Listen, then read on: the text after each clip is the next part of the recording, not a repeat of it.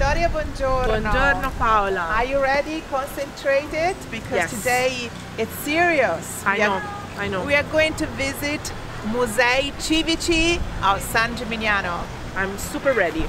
Let's go.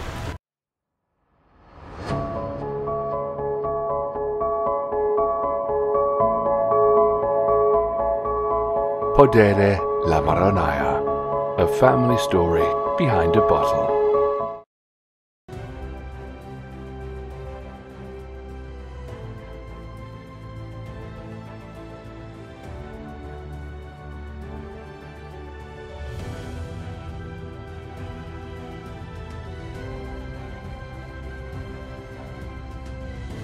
Paola, so San Gimignano is not just gelato, vernaccia and saffron. There is a lot to see.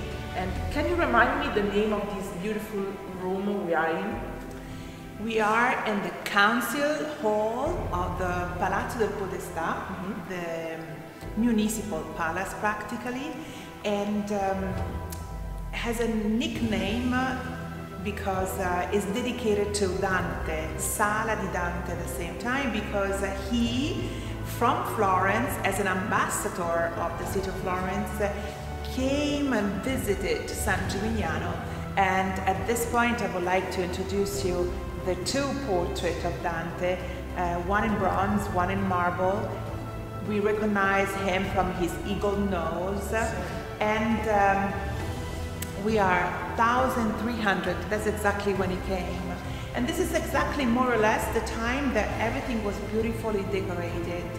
And uh, the highlight of the room is certainly the maestà this is the majesty. Every time that you see a madonna sitting down on a throne like this holding the baby and usually surrounded by different saints and Lippo Memmi painted uh, at the beginning of the 1300 uh, using a lot of gold. Like in Siena here we are in the province in Siena uh, in a very elegant way they used to represent uh, uh, all the different saints. That people used to recognize them without reading their name just looking at them St. Peter's, we recognize from the key that he's holding, and uh, he's uh, older than the other one, usually with the white hair. Saint John the Baptist with a lion's skin. We have uh, the patron family. We have uh, Nello from the Tolomei family that uh, commissioned the fresco to Lippo Memmi, and he's the only one without the halo that we recognize. Saint Agnese, we have next. And uh, the main character is him, is uh, San Gimignano. Gimignano with, uh, with a bishop hat, as he was a bishop real life. And um, we have uh, so many people surrounding the Virgin Mary with this beautiful blue mantle gilded uh, with this pillow, this beautiful color, which they vanish a little bit, but they still have uh, this uh, beauty uh, of um, the blue lapis lazuli that you have in the background.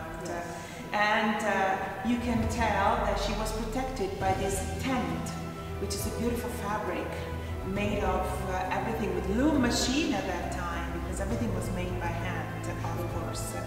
And uh, I'd like to remind you how I do have the name of, the, of the patron family here, Nello, and his father was Nino dei Tolomei, and uh, he was, uh, uh, for a limited time, the Podestà of San Gimignano, he was the mayor of, uh, of village. And um, look around you because you have the regional ceiling, the wood cover ceiling that you have, different family arm that you have a painted on top, and uh, moment of everyday life, uh, hunting moment, uh, moment of fishing, and uh, in the countryside with their dogs that you have,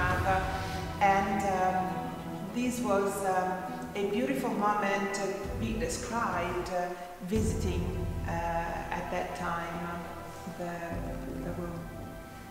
Okay, let's go on because there are a lot of different rooms to see. All of the secret audience uh, that you have where the, um, the judge uh, stood there and um, uh, listened to the people.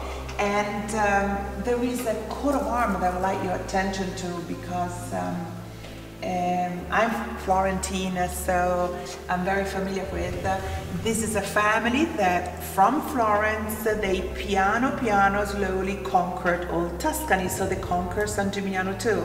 So you have their family coat of arms there, and uh, you have it from uh, the um, 16th century. This was not painted before, of course, and I'm talking about the Medici family. And this is the six rounded balls of the family that you have there. Every time that you have that coat of armor is not something that the locals were very proud of because they've lost their independency, meaning the Medici were dominating uh, the whole area.